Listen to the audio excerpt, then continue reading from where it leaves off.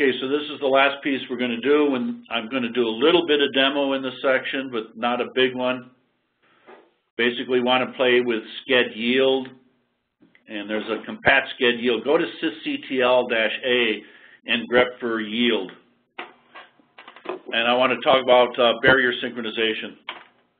So, basically talking about uh, process switching, context switches, We've seen already several times that switch task, finish switch task, CPU scheduler.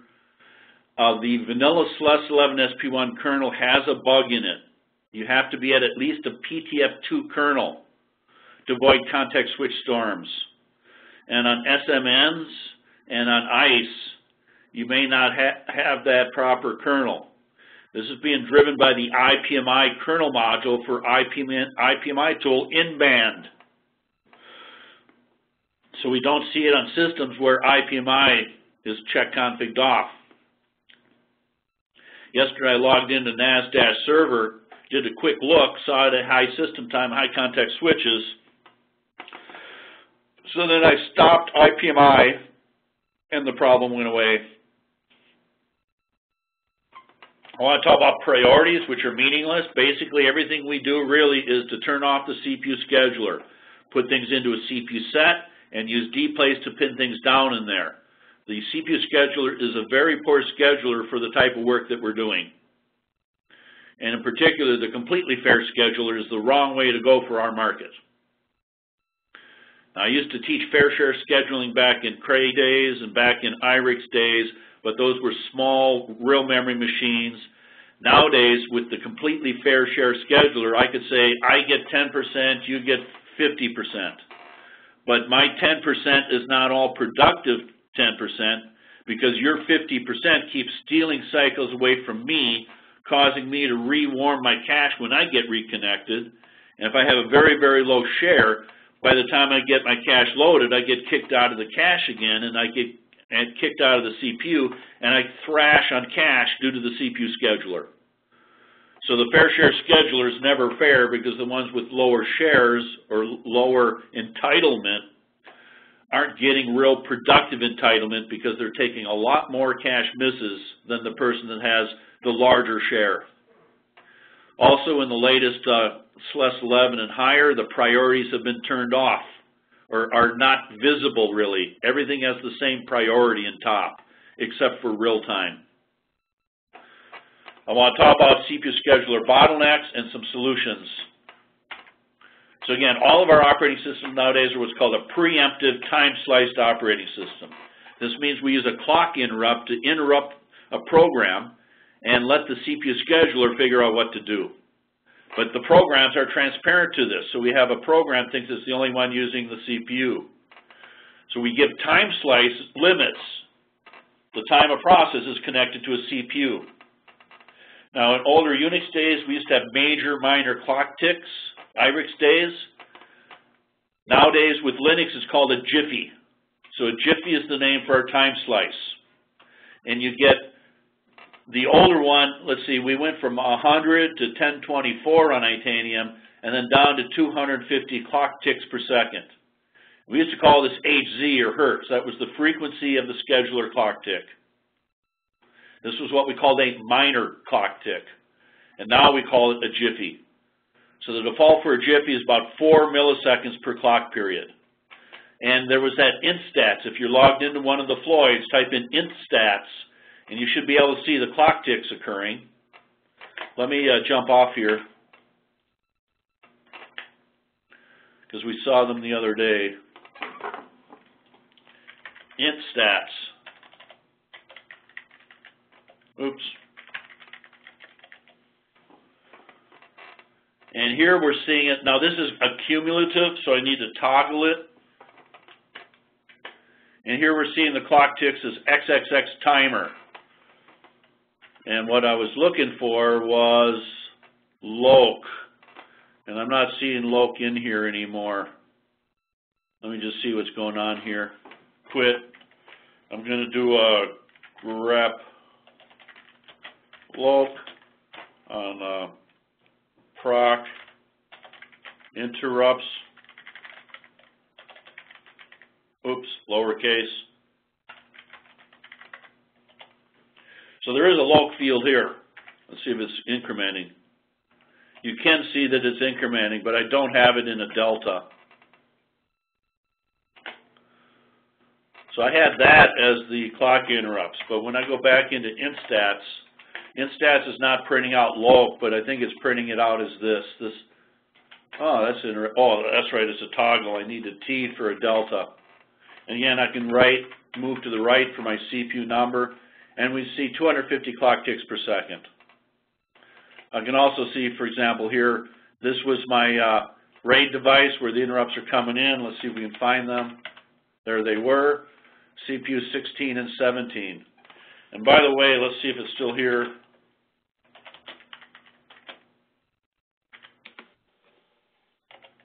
Yes, I was looking for this last week and it seemed to have been missing. I don't know if it got killed by an OOM or whatever, but this SGI IRQ balancer is spreading out interrupts across the socket so that one CPU doesn't get hit all the time. Let me go back to the slides. so in instats, you make a note, that was the XXX colon timer is what the uh, command does.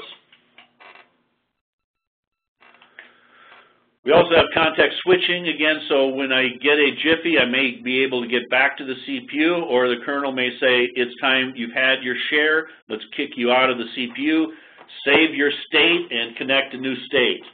Now again, there are two types of context switches. One is between hyperthreads, and when we context switch between hyperthreads, this, both states are on chip, and all we have to do is flip between the two states. That's really what a hyper-threaded core is, is that it's got room on the core to keep track of two states, but there's not room on the core to keep track of or to have two sets of functional units and two sets of caches. That, those then get called separate cores. So context switch is saving the state of the process connected to a CPU, disconnecting that process, then connecting a different process, and restoring the state of the new process on that CPU and the state is the program counter in the internal registers of the process. And SAR-W tracks context switches. And I had a context switch storm yesterday on NAS server from an IPMI tool bug. So time slices, these are variable time slices for non-real time, anywhere from 4 milliseconds or 1 jiffy up to 800 milliseconds the default time slice for people coming in without changing NICE or anything is an 80 millisecond time slice. But then this is based upon a fair share entitlement, what they're calling the completely fair share scheduler. Priorities for interactive, also referred to as normal or batch, are between 100 and 139. I've got a drawing for this. So 100 is best, 139 is the worst. And NICE influences that. For real time, we go from 0 to 100.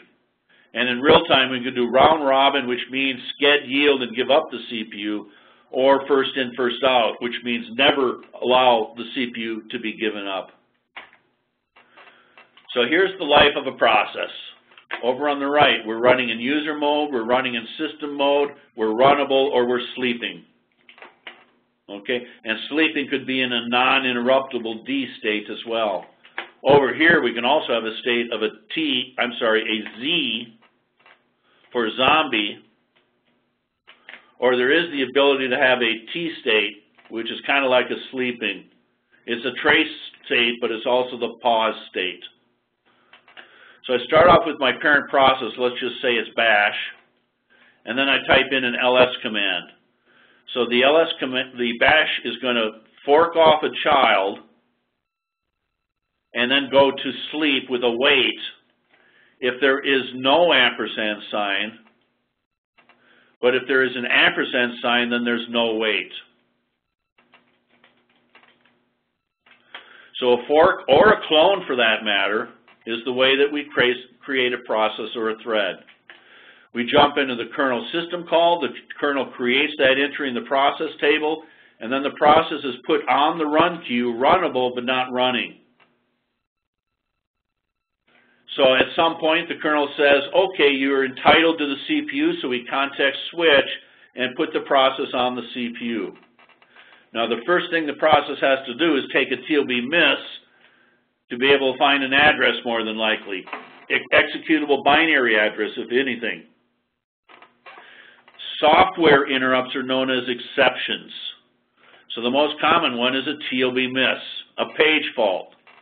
So page fault results me going into the kernel, looking in the page table, finding the address, putting it into the TLB buffer, and then reconnecting the process through a hot path. A process will not lose the CPU on a TLB miss.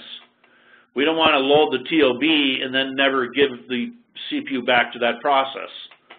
So TLB misses will never result in a context switch, and we will have a hot path going back there.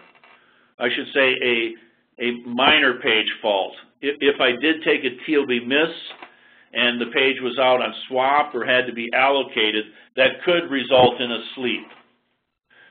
So if I did take a TLB miss and had to wait for the page to come in from uh, disk, then that process is going to be put to sleep, what we call a blocked process, on some sort of sleep lock. Now, when we were using perf earlier today, those were spin locks. And we saw that IRQ spin locks. These are sleep locks. How do we look at a sleep lock? Crash. That's what's going to give me my sleep locks. So we need to have a stack trace. If a process is running, there's nothing in the kernel stack. I make a system call jump into the kernel, then we're going to actually see the stack trace when the process was being put to sleep. So WCHAN, I can't imagine as an administrator not having WCHAN in my top display so I can see if the process is running, runnable, or sleeping. So I've read that uh, executable in from slash bin, the IO event, and the K worker now. So we get a interrupt handler, the IRQ save sees the interrupt, and then passes the interrupt handler off to the K worker thing, and then K worker takes care of the interrupt, and then wakes up the process and puts it back on the run queue. And then at some point, it gets run again. But let's say the next system call then is a write. So when I do a write, I might again end up in a WCHAN event, but let's just assume the page cache works. It gets copied to the page cache. And, but every time I do a system call, I could be preempted. So even though I, I uh, did a write and got my I.O. done right away, the CPU scheduler says, hey, you made a system call, I've decided to kick you out. So you might not get your full Jiffy because of interrupts. We've always said, or because of system calls. We've always said stay out of the kernel, don't abuse the kernel. Now what deliberately preempts the CPU? What system call preempts the CPU on purpose? Sched yield. So there are programs, eh, OpenMP and Intel MPI, that will do a sched yield. They'll do the futex wait, which is the, the phone call barrier check. Are you done? Are you done? Are you done? And then they give up and yield the CPU with the sched yield. And we saw that yesterday, and I want to do that again today, where I had barriers stuck and they were thrashing on sched yields, giving me system time. And there is a sysctl parameter for sched yield compat. I strongly advise to set that to 1 unless everything you're doing is in a CPU set. I want to demonstrate that. There are sites that just run jobs wide open without CPU sets because they want to keep the CPUs busy, but there's no guarantee that keeping the CPU busy is productive CPUs. so uh, I've got applications out there that are overcommitted and preempting and have high system time sticking on barriers. So I make a system call and I get preempted I get put back on the run queue. Again, preemption is going down to a WCHAN event. Then I get put back on the run queue, and then eventually I get running again. All the things that happen, we have a clock interrupt. Again, one of the clock interrupts, the minor clock tick, uh, calls called a jiffy, and we can also have I.O. interrupts. Again, these are tracked with instats, and we have the IRQ save, and it's on a per CPU basis that you can see that stuff. When the process is in the kernel, by the way, we can be handling interrupts. We are able to handle interrupts while we're in the kernel. And then when the process is either done, it's killed, it's segfaulted, or it's exited, then the process goes away and it becomes a zombie or what we also call the defunct process. Now basically a zombie or defunct process has given up all the user memory space, but the process table entries are still not there. I'm sorry, process table entries are still there. So we still have structures in the kernel describing this process even though it's given up its memory. Now what I was trying to, I jumped ahead in my head, what I was trying to say is if this process had open sockets, there is a timeout on how long an open socket is left hanging. And I had one site that was like an Oracle site. They were disconnecting from the database engine wrong, leaving open sockets dangling there, and then all these zombies would come in and wait until the socket timeout is reached before the zombie goes away. Also, earlier this week during a process storm, I was trying to create zombies, but I pushed the system too far into the 2 million proc range, and that also created problems. But I have three types of zombies. One zombie is where the parent is dead, is gone. When the child terminates, the parent is what gets the bill. All the accounting and stuff goes back to the parent. But if the parent isn't there, if the parent got killed, the grandparent of everybody in it inherits the child uh, process that has died, and the zombie will not go away until a reboot. That's one type of zombie. The other type of zombie is, again, if I have a process storm, if it takes time to clean up 100,000 processes from the process table, you're going to see those zombies stick around until they get cleaned up. And the third type of zombie is one that resources are being held by the dead process. And the only one I, example I can think of are network socket connections. And you got sock list to list all your socket connections. And a sysctl parameter to control how long those sockets are held before a timeout. This particular site had performance problems, not necessarily from the fact that they had a lot of zombies, but because of the socket connection problems that they were creating and hit, hitting a limit to the maximum number of sockets that can be held. Any questions? So, to me, WCHAN is important. Here's a sched yield. That's a good indication of barrier synchronization. The other one for barrier synchronization was a futex kind of routine.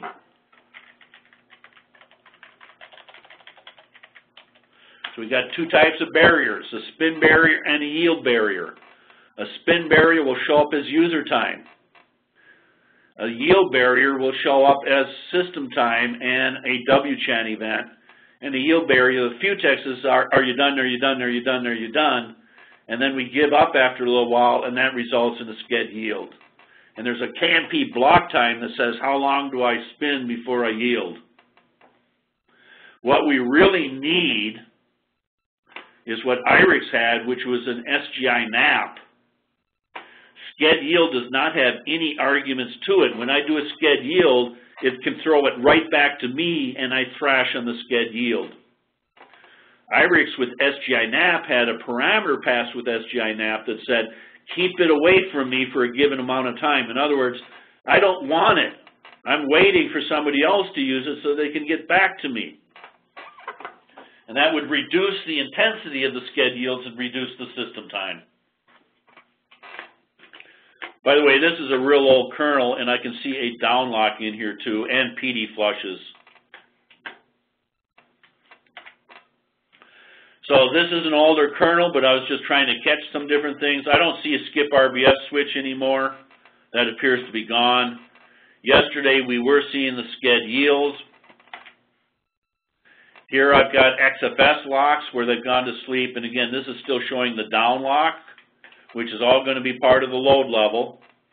Nowadays, when the kernel prints out WCHAN, it compares the address of WCHAN and says if it's in the range of the generic kernel lock handler routines, don't print it.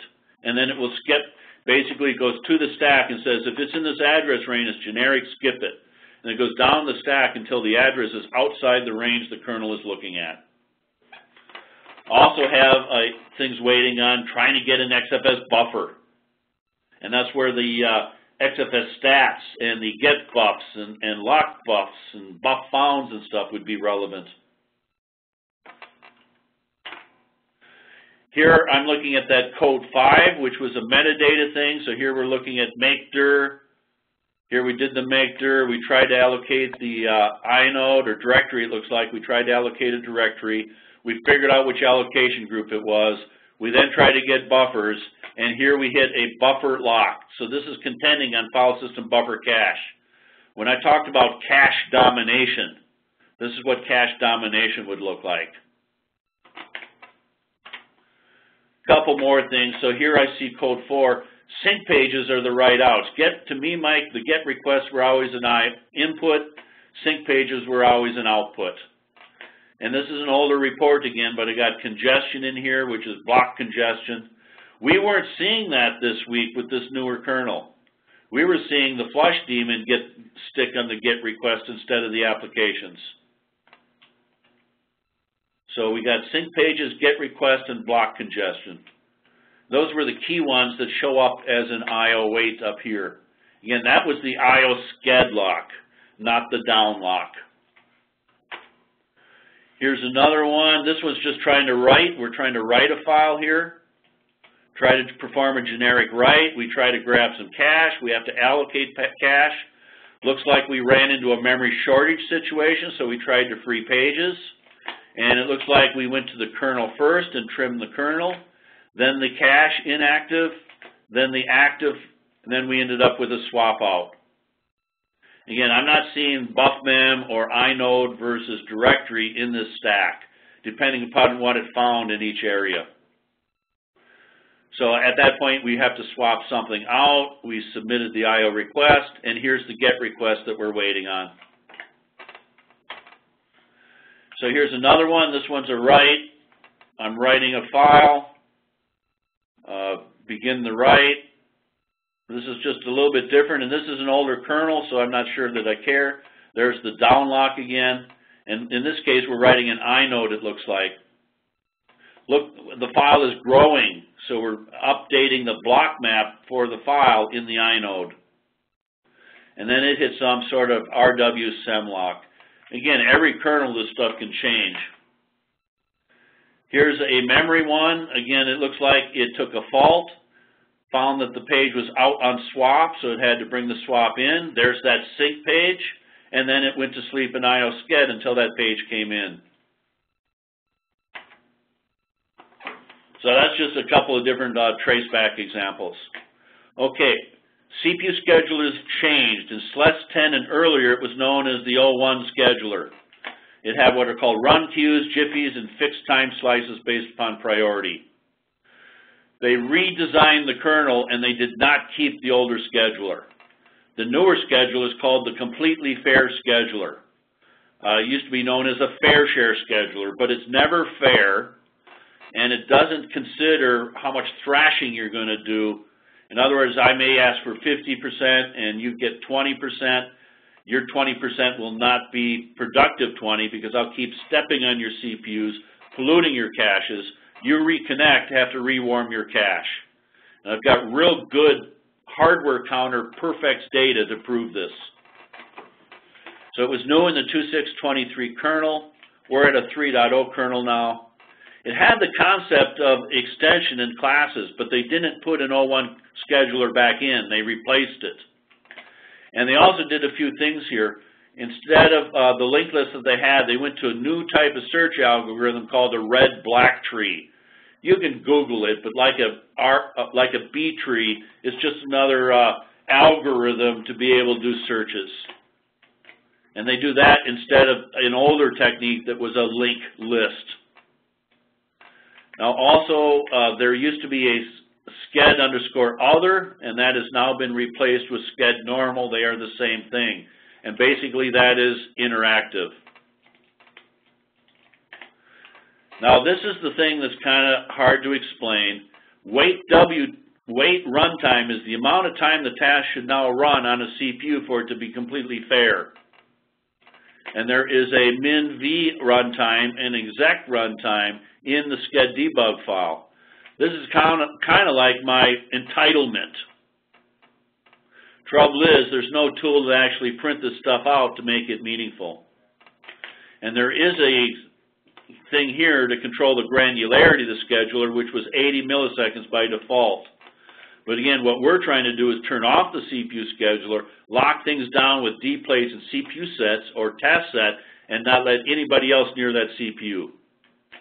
Now, they also claimed in their documentation sched yield improvements. I see a severe degradation in sched yield. I don't know what they're talking about. And I'll prove, prove that here if I could get the time. So each CPU has a run queue. The run queue is an RB tree. Each CPU has its own run queue. That gives me affinity and also decouples my run queue. I remember a long time ago when Cray put out a 64 CPU uh, YMP or something, it was 100% system time, and all that system time was spinning on the run queue lock. So now we lock on a per CPU basis. That gives me affinity, and that decouples the run queue, allowing each CPU to go into the run queue on its own. We need to lock the run queue so we don't change a pointer list and have two things changing a linked list at the same time and corrupting the linked list. So that run queue is a priority ordered B tree. It is put into the run queue in priority. So when we put a process into the run queue, it is inserted into the run queue in a priority scheme. And each run queue, each I should say each priority level is in the run queue is itself a 5 so when I put it in, I look at the priority and then put it into that priority's run queue. Now this run queue has an active and an expired. So processes that have entitlement remaining are still on an active list. If they and they will always execute before expired. But we can also have a process that hasn't done anything for a while and is expired, or a process that has exceeded their entitlement. Now I got this with lower priority is not true now. We no longer have what uh, SLES 10 did priority skewing. In SLES 10, I would come in at 20, go down to 15, which was my best, and go up to 25, which was my worst priority. But that stuff is all gone now. Everything is at 20 unless it's a real time. And the real scheduler priority scheme is in that entitlement usage field in the uh, proc debug info file. So this doesn't really matter anymore. Expired are the first ones to be load balanced. If I go idle, I'm going to look for a CPU that has a large run queue, and it will be migrated to the least loaded CPU. This load balancing occurs when I've got a greater than 25% imbalance. When it does do a load balance, it examines all, I should say, it examines all CPUs in a process exec to do a load balance. It will pull from the CPU with the highest load if we need the balance. But it will not touch, there is a field in the process table called hot, tells how hot the cache is. It will also not touch things that are CPU set or pinned with dplace, NUMA CTL. And also in the real-time market, you can isolate a CPU and restrict it basically so that the CPU scheduler will not look at an isolate CPU type of convention. So these are the windows of opportunity for a context switch. Every time I do a context switch, I got a it's called a voluntary yield. If I make a system call and do not context switch, I'm okay. But if I make a system call and the kernel says, ha, ha, ha, you asked me to do something, but I'm not going to take care of you and I'm going to put you on the uh, run queue. That would be a voluntary yield. We also have our hardware resolution counter that can give me my minimum time slice. But in general, every four milliseconds, we're getting a jiffy, which is what we're calling the clock interrupt. Now, I have to add in here, this is with a no hertz equals on. Not off. So they've done something different now. This clock interrupt was occurring to every CPU. But now they've got just one thread that wanders around the system to handle the clock interrupts. So you don't see 250 clock interrupts per second on each CPU. But that creates problem in our market because that wandering thread could bang into one of our applications and stick barriers, cause priority problems and things like that. Again, uh, every 80 milliseconds is the default time slice. Was that 20, uh, 20 jiffies? IRIX, it was 100 milliseconds by default. And there is a load balancer that can occur be anywhere between 8 and 100 milliseconds.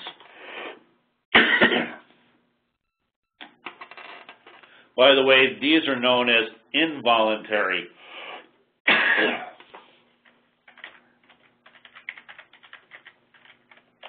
switches. Let me go off to my desktop here.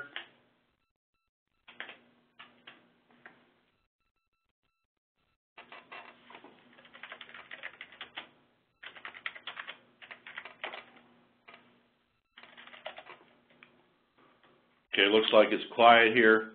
Notice I still have a lot of have, have a lot of buffers. Let me just do a BC free dash A to clear that up.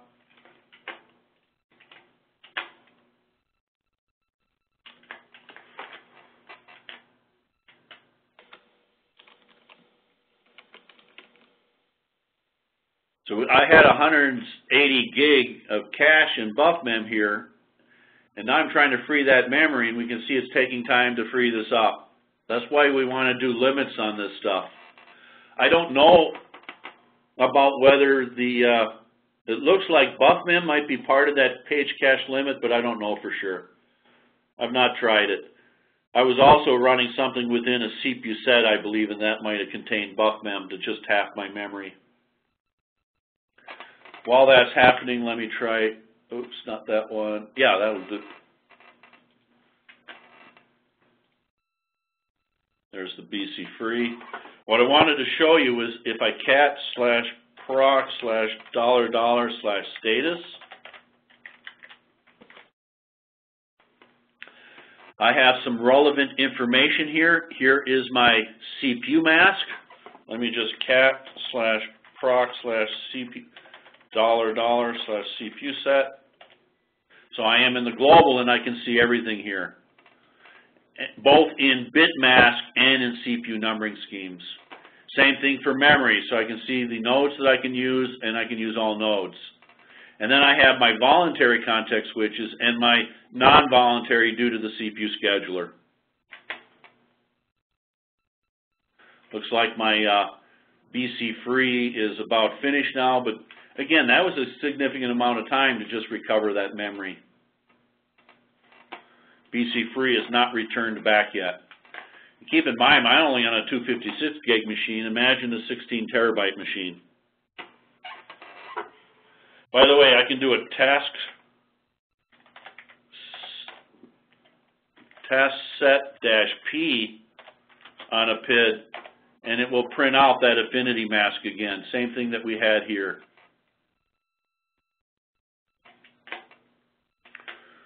Okay, now let me just do a command here. Let's cd in the home guest,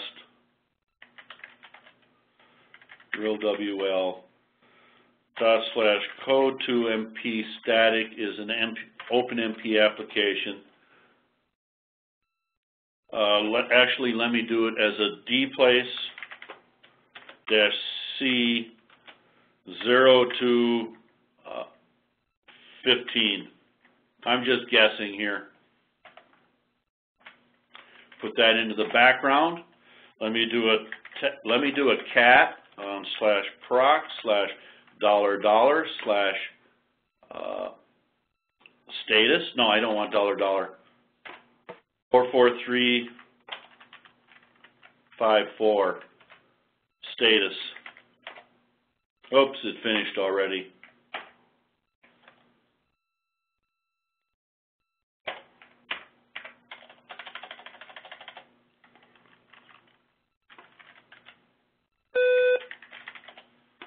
There I was able to catch it and notice that I do have, what did I do for a D place though? Zero to fifteen. It's only showing me one. Interesting. Okay, I think I know why.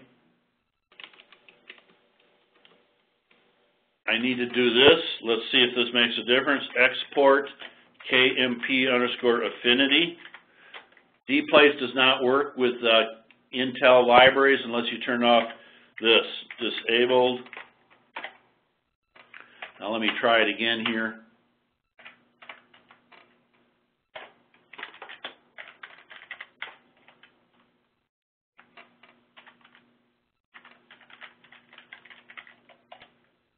And nope, it's still at a zero.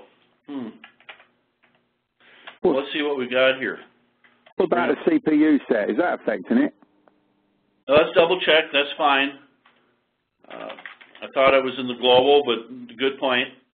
Uh, dev CPU set. It still should have been. It would have. dplace would have complained.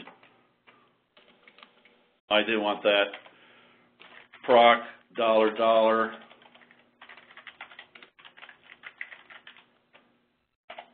So I am in the global. Task set dash P. I think that program's probably finished by now. Dollar dollar. I have a full affinity situation here. Let me see if I can run this again.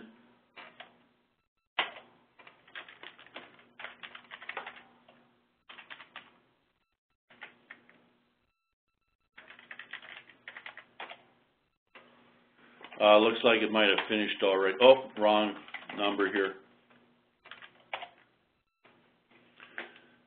Still only putting me into one CPU. I'm bring up top. It is a static binary, and that may be rela related to my problem. Let me do an H. dplace doesn't really work on static. And I can see they're all contained. I've got one that got put on zero and one that got put on one. So they're thrashing against each other. They're competing with each other. Okay, let me try something else. Uh, hasn't got a more restrictive dplace or whatever inside it, has it? Uh, there isn't, again, I've got a static binary here, and dplace doesn't work with a static binary. Okay? So I'm going to try to actually load live DSOs from the Intel library. That's not where it is.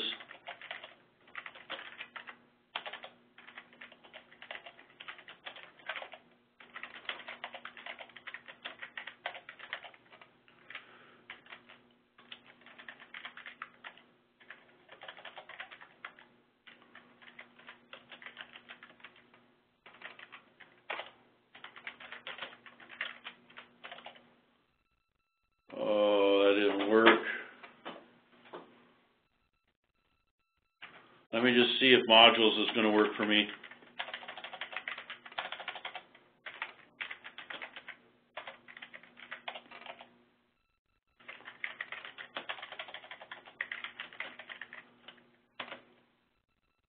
Oh, I don't even see one in there.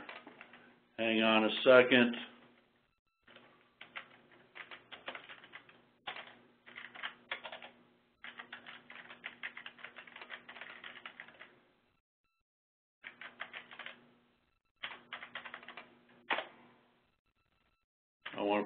Slash SW module files.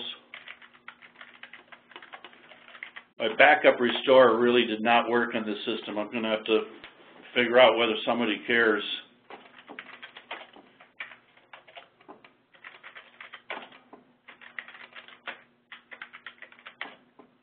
Okay, module load Intel 12, echo dollar path. Yeah, it is there. Maybe it was there before and I didn't notice. It was at the end. I was looking for it to be at the beginning.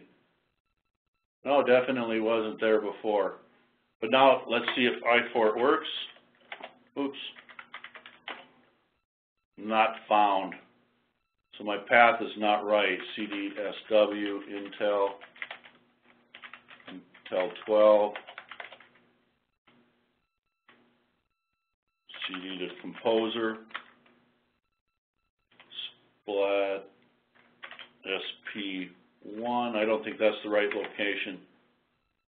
CD into bin. iFort is there.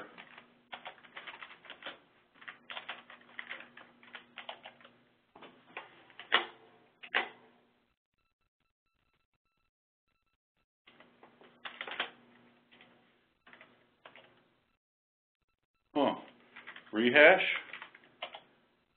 iFort? That's not a link to somewhere else. Oh no, it's a typo. Good Oh, it a link, maybe? good point. Yeah. Uh, yeah, I was expecting that too. Let me, uh, edit my SW file. Oops.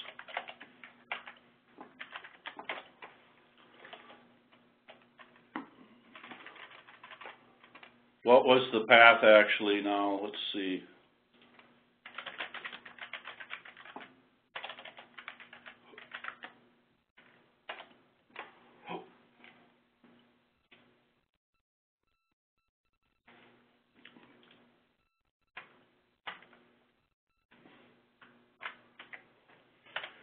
Intel has made it a lot harder for this stuff. Gotten, uh, more complicated in their, uh, path control scripts.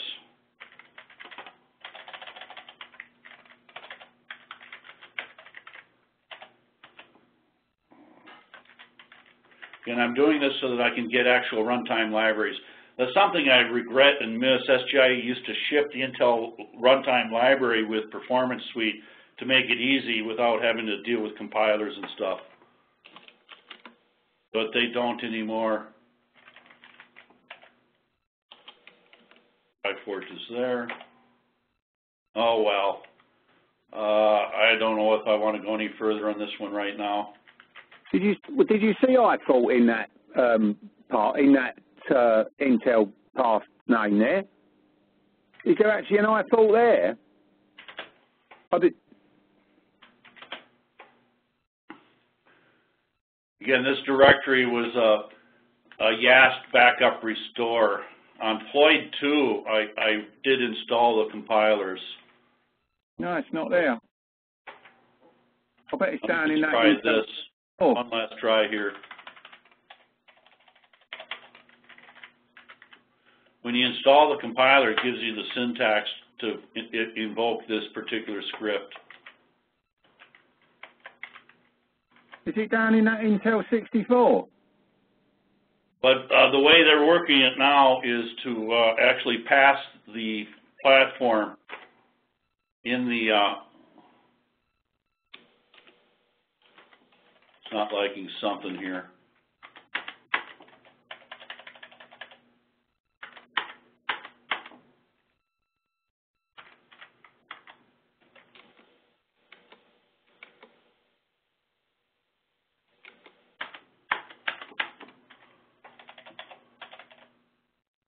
Well, let me just try changing into that thing.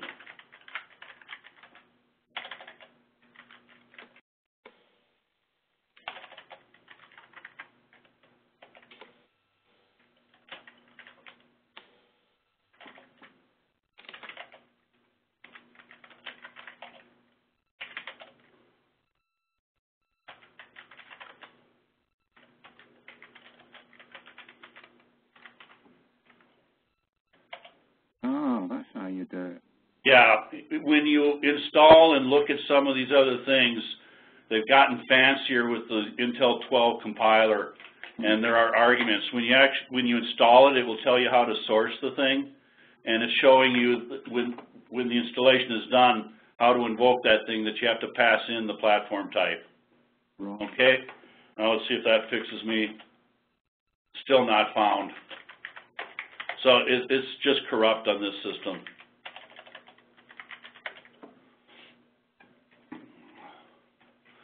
Let me try it on uh, Floyd 2.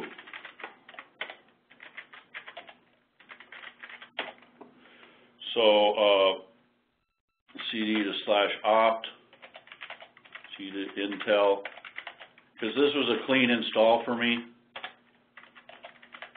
versus the other one being a restore backup. Let's try compiler. No. Bin.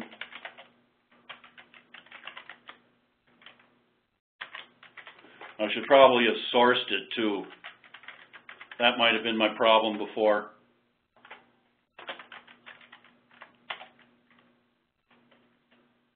Oops.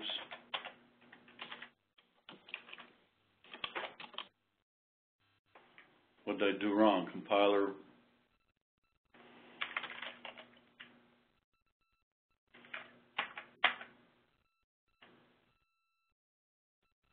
Oh, dot.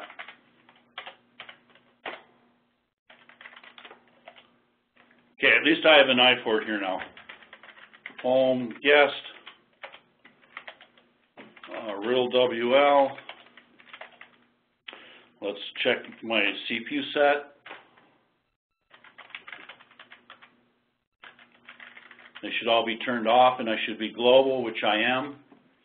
Okay, so now I'm going to do an iFort dash parallel to make it automatically parallel 03 dash little o. I'm just going to call it code 2MP code 2MP or code 2.f.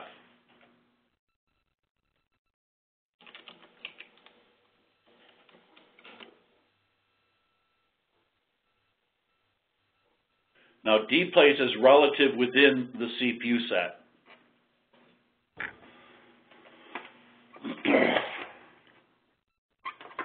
Let me go to Floyd 2 on this one.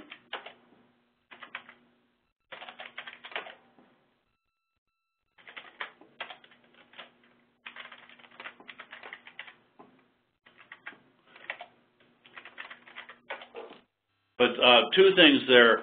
Uh, dplace, dplace and Intel OpenMP do not work together by default, and we need to turn off KMP underscore affinity.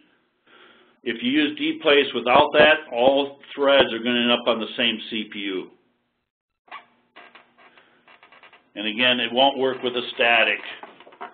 So that's why I had to go try to find a compiler. So now let me try a code 2MP. I'm just going to fire this off.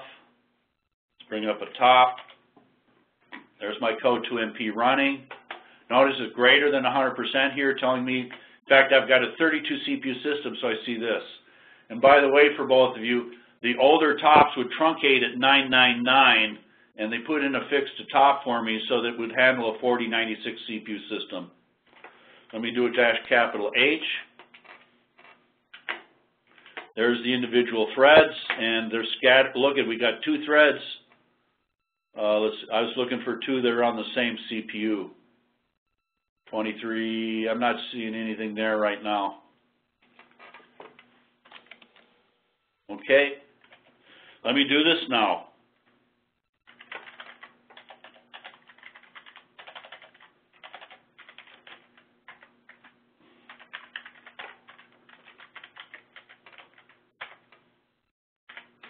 Gonna go 512 threads wide.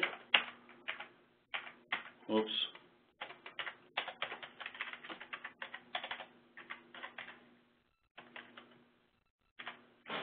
Actually, I was running it in the other window. Let's run it in the other window again. Bring in top.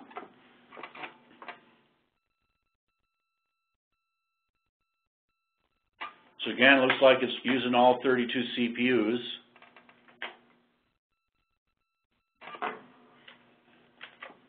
S trace dash F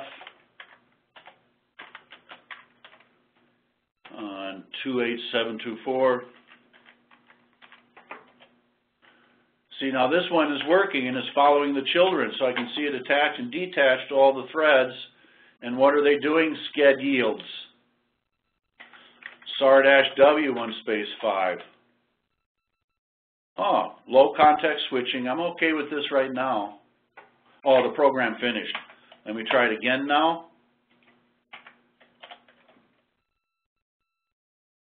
Low contact switching. I've been seeing a little bit be better behavior with this system, but let's see if I can drive it crazy here.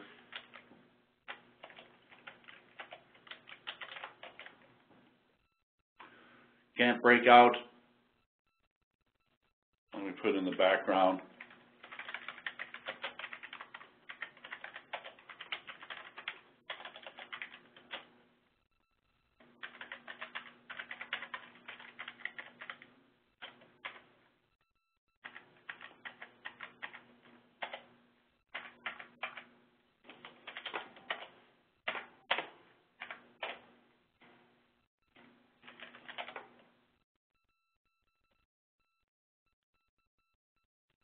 Deliberately created a overcommit to the CPUs, deliberately sticking the barriers.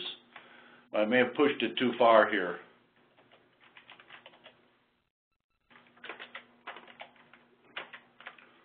Eleven thousand threads. Let's see if a SAR dash W will work right now. I'm in a little bit of trouble. There we are. Look at the context switching now. Let me see if perf top works. There's our top.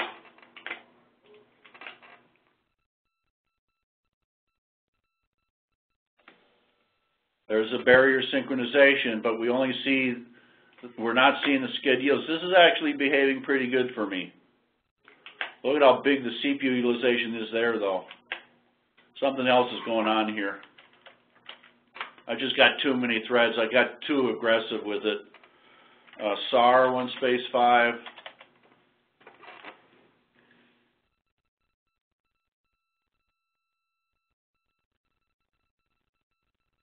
And look at my system time is at 95%.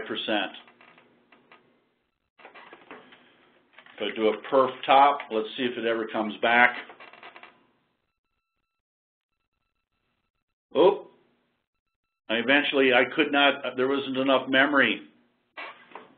All that was in the forks and stuff. Let's see if I can kill this thing now.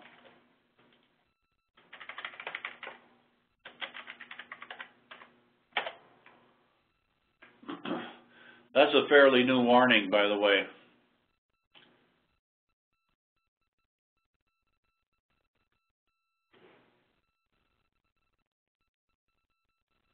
Now, what I wanted to show you was if you take a look at uh,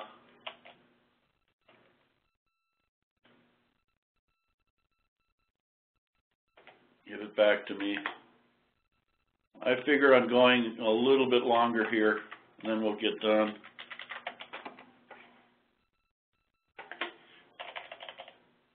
Uh, I want to check something here.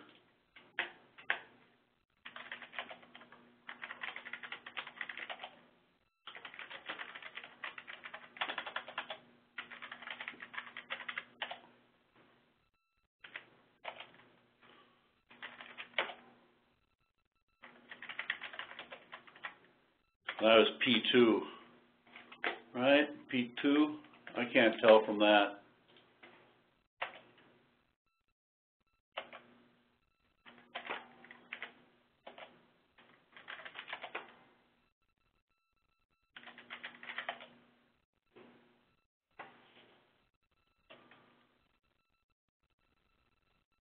What happened here? I finally got out of top. Still don't have that one going yet. And we, ca- I can't logged in yet. Escape Shift KDB. Let's just see what uh, summary does. Nothing going to swap, no dirty, no write back. Pretty big slab though. Why do we have a big slab? 10 gig. Still a lot of memory available, but we still hit a uh, 10 gig limit. That's the process table more than likely. I don't want to do a PS. That got us into trouble the other day for something this big.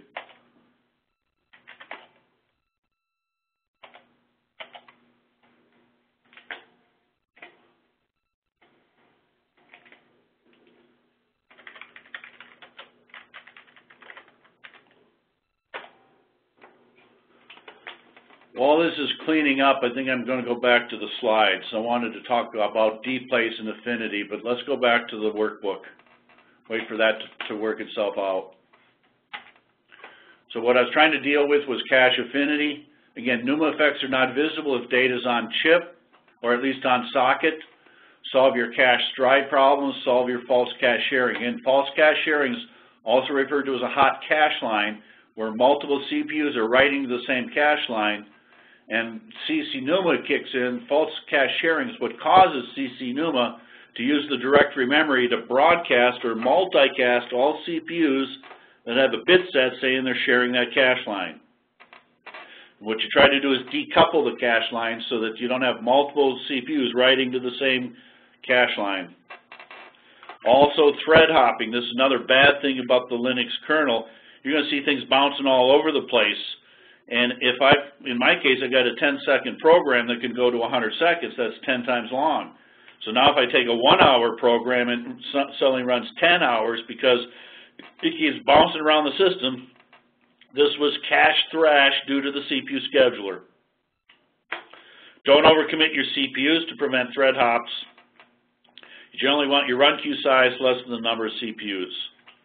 So you want to lock things down, task set, CPU set, and I was trying to do dplace. By the way, again, with dplace, we need to disable export KMP underscore affinity. A lot of people get burned by this, equals disabled. But omplace, and a lot of people are trying to de uh, deprecate dplace, and omplace instead actually does disable it. And omplace calls dplace. So omplace is kind of a better interface to do everything, and one of the things it does is that. Otherwise, else, Intel OpenMP will be on one CPU. I should say with dplace.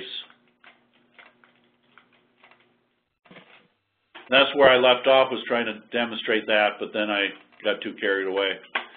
There is another interface called NUMA CTL, and there is a libnuma. I don't know if you knew IRIX, but in IRIX, the dplace handled memory and CPU, but here you have two separate interfaces for the two. dplace only deals with CPU. And I asked the dplace handle memory, but they rejected it. I also want to keep things away from me using a boot CPU set and then batch PBS CPU sets. There is a flag to turn off that load balancing, and then there are environment variables that control things. Just let me move on here. So the load balance occurs when you have a greater than 25% difference between two run queues. We load balance if a fork or an exec occurs, we have a load balance periodically occurring. The isolate CPUs turns off the load balancer. That's for the real-time market when people are pinning down a video reader or something like that. We pull from the highest load, highest load CPU, migrating half the difference. So let's just take an example. I got one uh, CPU that's at 17 threads and the other one that's at, let's just say 22 threads. So this is a CPU A, CPU B. So what we're going to do is 22 minus the 17, what's that, 5? So we're going to move 5 from here, which gets me down to 17. It look, what's going on here? Oh, half the difference, I'm sorry. So half the difference, 5, so we're going to pull 3 from this one leaving me 19 here.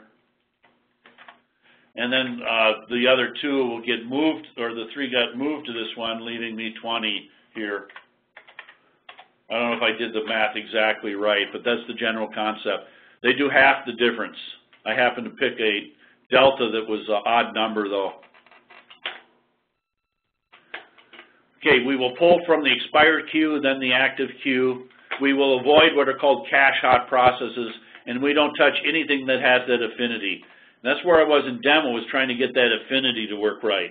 But I think it was because I was using a static application, not a, a DSO. dplace does not work with static. Okay, so here's the story here. Uh, this is kind of strange for me, but we, we've got five different ways of counting priority. The first one is what the kernel has. So the kernel has a zero being the best and a 140 being the worst, 140 being max PRIO, and there's a max real time, so everything between zero and 100 is real time. And when you're in crash, you can find the real time priority. There is a lab where you're going to uh, fill in a table with all these different numbers and use crash to look at it. Real our interactive is the 100 to 140. We come in at 120 by default. That's called the static PRIO. Now, when it's printed to PROC-PID stat, they subtract 100 from it. So when we are in top, anything that's negative or has an RT is a real time. So if we, and by the way, top does not match PS. If I did a PS-L, I would see 80. If I did a PS-C, I would see 19. And top would give me 20. I always complained about that. So there is priority, there's PRI, and there's OPRI. And part of the table you fill out in lab is to compute these and see if they match. So when I print the static priority out, subtract 100 from it, 100 becomes 0, 120 becomes 20, 139 becomes 39. So again, by default, you come in at 20. Now, there used to be a degrading concept here where you would go up and down depending upon how you're sleeping, but that was SLES 10. And if I do a, the only thing that's going to affect my priority is if I do a nice. If I do a negative nice, I'm not being nice, and my priority is going to go up. And the, this priority would also go up with it. If I do a nice 19, that would degrade my priority, and I would see nice go to 19, but I'd also see my priority in top go to like 39. However, for whatever reason, I don't understand why, and the documentation, the code in PROC-PS doesn't make any sense about uh, Sun OS and stuff like that. I've never seen priority ranges in the 0 to 39 or the 60 to 99. So PS-C has 39 and then subtracts priority from it. And PS-L adds 60 to it. So in this case, the lower number has a higher priority, but in this case, the higher number has a better priority. So there is a lab step to fill out a table and run things and, and see what these numbers are. Trying to wrap up here. Real-time schedule, we can do round robin or first out. Round robin are still scheduled by the, the clock interrupts, the jiffies. You do have the ability in a real time to set your scheduler or get your settings, get the interval that you're uh, getting the jiffies on, set the scheduler itself, and you can also set priorities. With first in, first out, you don't lose the CPU by a, a clock tick. You don't lose it because of a jiffy. The only way that process is going to get kicked out is if it has sched yield voluntarily. By the way, there is a command, chrt, that can set or retrieve what your real-time properties are. Okay, these are, again, a little bit old. Migration thread is the thing that moves things off in uh, ineligible CPU to do load balancing. Events is gone. Events is now K-worker. And that is basically an interrupt handler. K-soft IRQ is going to be the CPU number after it. That's the thing handling network interrupts like network and SCSI. K-swap D, one per node, one per socket, swap in, or I'm sorry, swap out when out of memory. That's going to do the trim, the slab, and the trim of the page cache. There are a couple others here. I'm not even sure if K-block D is there anymore. I did see K-helper. XFS journaling I did see. Data, I'm not sure about data. We were seeing that as BuffD, I think, XFS BuffD. I think that daemon's still there, though. And syncd for the metadata, and for asynchronous I.O., and flush, and QLogic drivers. Just kind of giving you an idea what some of them do. So here I was just playing with priorities. So if there's a program out there for CPU Pri, The first one is the uh, iterations, the second one is the number, the priority number they want. And then I did a PS-O on the command, and all three priorities. Priority is what top is going to show, pri and opri are what PS is going to show. So here I went to a 99. Now I don't know why, but it actually comes one off, so it becomes 100 or 139 or 40. Then I did it to a 1, so that came out as a minus 2, and again, I'm off by 1, and I never figured out why. Or the uh, pri being 41, or the opri being 58. PS-L is this third one. Also put it in the background, and there was no change. Uh, on IRIX, programs that went in the background did have their priority changed. Anyway, this is comparing it with without putting it in the background, and they have the same priorities. No, actually, this one went down to 25, didn't it? Uh, not sure why. Let's see, that's within top. I don't know what happened there, and I'm the one that I'm the one that generated this. But let's move on. So if you are in crash, you can run the task command and get grep for Then you can see the uh, what's called the uh, effective priority. it used to change, but doesn't anymore. then the static, then the real time.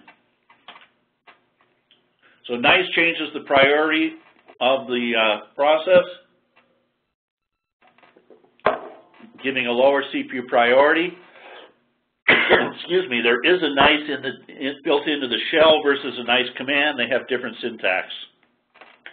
You have the ability of setting NICEs with the limits, and also in XINET D, you can specify a NICE for FTPs. So I just ran through a whole bunch of NICE examples. We've looked at these monitoring tools. Find inefficient applications. If you're CPU bound, fix the applications first. Solve your barrier problems, solve your sharing problems. All these things are CPU time. So we've looked at this, run queue size, running and runnable. Load level includes the IOSCED and the downlock. and I was just listing some of the common locks that I was seeing.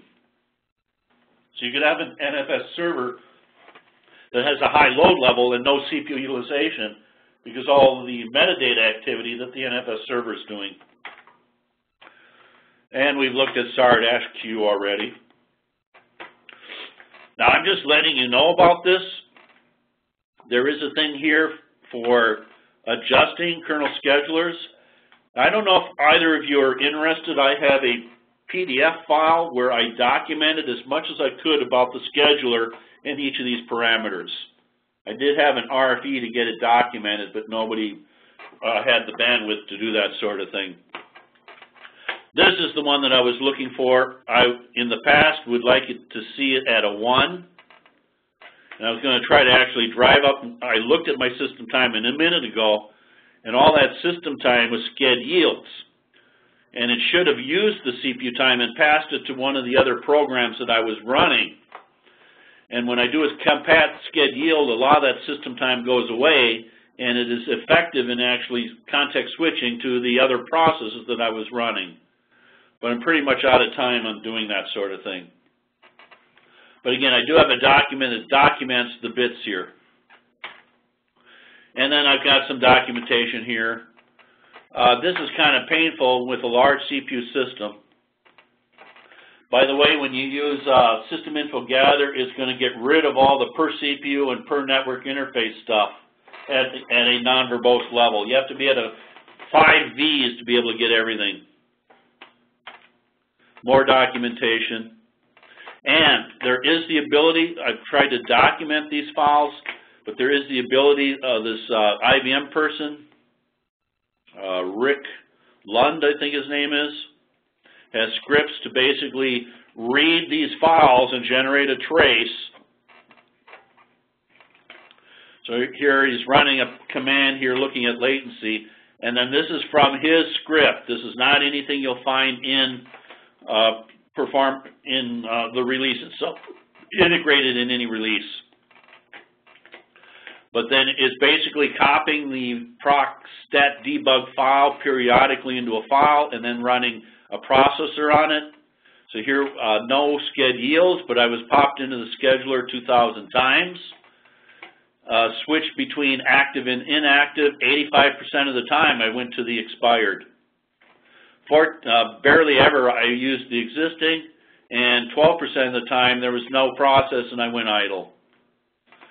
And then it's just showing some of the other, I did it, went into try wake up 744 times, and all those were able to be woken up on the same CPU as the waker. Also getting the average latency runtime, how long, what the time slices are like. Number of times I pulled a task and did load, actually we have load balancing kicking in, but it looks like none of them were pulled. And the number of times we called the load balancer while we were idle was basically all the time. And then there were a couple of times that we called while we were busy. So I, I was showing you earlier in the week this proc sched debug showing each CPU. So here we've got things like number running, what the load level is, the number of context switches on a per CPU basis, number of non number of uninterruptible, here's the number of jiffies it got, things of that sort. Now we've got two classes here, so this is for the completely fair, that's the interactive, and then we got another one for real time. And this is the, the weighting factor that the completely fair scheduler is using. Number running, load level, number of yields, so we've got specific yield information. Context switch specifics. I don't remember what TTWU was, but I documented in, in my uh, uh, scheduler document that I have. But this is what was relevant, so I could look at a CPU, because there's a CPU number in front of each of these. Then I can see what's running there, number of context switches, priorities, and things of that sort. And also, this looks like the crash task command where I'm looking at different things on a per process basis. Number of migrations, wake ups, things of that sort. I'm just letting you know it's here. And in proc PID sched, I have a whole bunch of information as well on a particular process. Number of switches, number of voluntary, number of involuntary, uh, wake ups, migration activity, I don't have every one of these documented, but, and this stuff up here, this is the CFS stuff, the weighting factor, the usage factor. In IRIX for the uh, Fair Share Scheduler, we used to call that thing uh, a bank account, and, and I like the word entitlement. C groups we're generally turning off. We use CPU sets instead.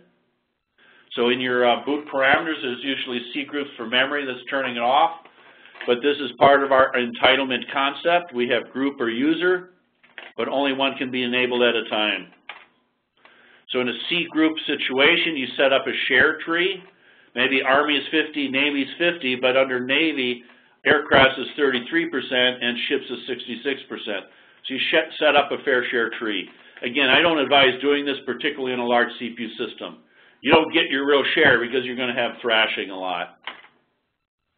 Uh, this is just, again, straight out of documentation to set up C groups. They created a dev for it, mounted it. They made a subdirectory, and then they set up their shares in it. And then they've demonstrated.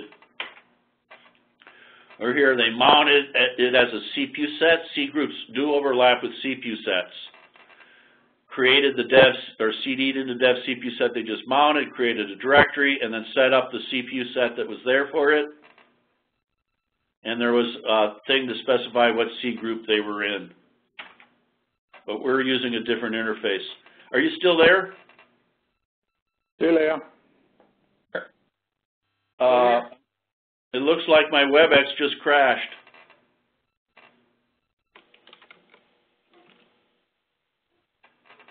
I don't have WebEx running anymore.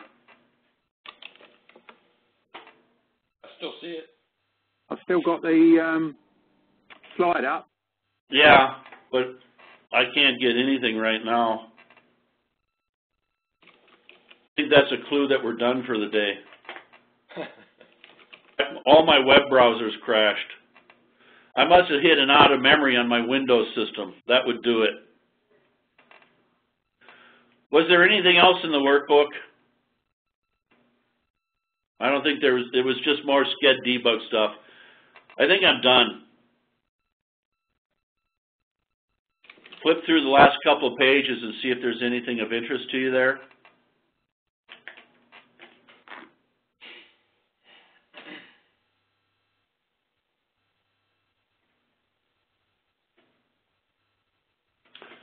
I think at this point, I'm just gonna call it a class. Call it the end of the week. Yep.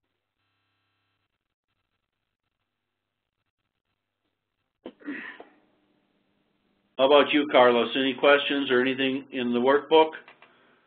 Again, at this point, uh, you can send me email. And I do have some of the stuff recorded from par I do have prior classes available on my website as well.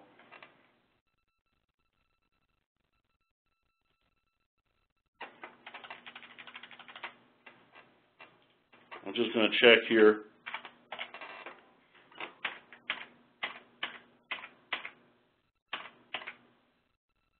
Alls I had was a summary page. So with that, there's no sense in us pushing any further. It's 6 o'clock for Mike, and it's a weekend for him. And uh, I appreciate all your patience during the week. I've pushed you pretty hard here, hoping it was constructive for you. You can never predict how these kernels are behaving, so that's what I was trying to do is stress the new kernel and see what it looks like. So if there aren't any questions, we're done. Okay? That Yeah, work, everybody? Uh, Mike, if you did want to use the uh, Floyd 2 or 3 tomorrow morning your time or the weekend, feel free. It won't be uh, reused until next week. All right. So send me email o- over the weekend if there's any issues. I do watch email. Uh, If you do want to use it, let me know because I might be on one of them as well. So I'm just saying if you did want to spend a little bit more time over the weekend to try one of these labs or play some of the games that I have, let me know, but the machines are not scheduled or reserved for anybody for the weekend. Okay? Yeah. So I appreciate your patience and I'm done for the class. Thank you, everybody. Thank See you, ya. Dave. Okay, goodbye. Bye. The leader has disconnected. The conference will be terminated in two minutes.